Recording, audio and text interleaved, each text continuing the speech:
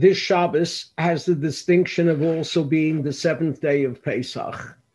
And the seventh day of Pesach is a very significant moment in time for the Jewish people as we pause to recall what happened on that first seventh day of Pesach. It was on the seventh day of Pesach that the Jews experienced the great miracle of the crossing of the Red Sea. A miracle that was so profound that the Jews could not help but burst out in song. Oz Yashir Moshe B'nai Israel. Then Moshe and the children of Israel sang this song of praise to the Almighty. But they're not the only ones who sang, because right after this song, we're told that Miriam took the timbrel and left the women in song as well.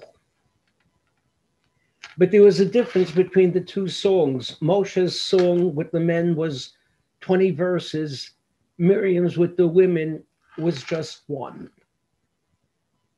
Why? Well, no one knows for sure, but a medieval commentator, the Ralbag, Rabbeinu Levi ben Gershon, said that the women sang less because they didn't appreciate the miracle as much as the men did, because the women were intellectually and spiritually inferior to the men they just didn't appreciate how wondrous this act of God was. Only the men did. The Ralbag here is true to form because in the beginning of his biblical commentary, he points out that the first woman was named Chava, and Chava comes from Aim Kol Chai, the mother of all the living, but Chaya means not only the living, it means animals. That Chava was one step above the animals, but never reached the intellectual status of a man. I don't know how Mrs. Ralbag felt about, felt about this, but I do know that in the 1800s, there was a great great giant of Torah learning, the Chassam Sofer, who looked this is completely different. He said that the reason why the women sang less was because they always see God's miracle. They're on such a high spiritual plane that every day they see the great wonders of and miracles of God in this world. It's the men who only now were able to appreciate the wonders of God. And so they burst out in song, but women didn't have to sing too much because they feel it every single day. Well, there are a couple of lessons we can learn from this.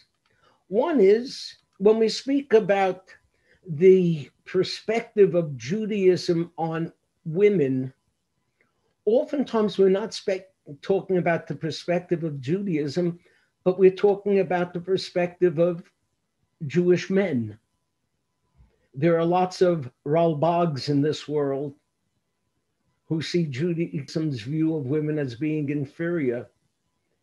There are lots of Chassam Sofers in this world who see women's role and understanding as being superior. I will also point out that the original name given to women that the Ralbag focused on was Chava, Em Kol Chai, Mother of the Living. That speaks of the woman as being the mother, that that's her role in life from Judaism's perspective. But we should take note of the fact that that first woman was given another name besides Chava. She was also known as Isha, which is the same as Ish. This is already a woman in her own right, with her own status, with her own ability to stand on her own two feet, no different than a man.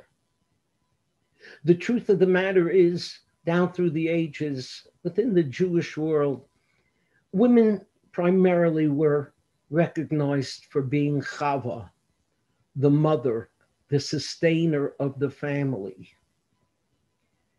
But now we're living in a world where the woman is not just the mother, although that's so important, but she has the option of being the Isha, of playing her own equal role in society. Times have changed. We would be wise to do the same. Chag Sameach, Shabbat Shalom.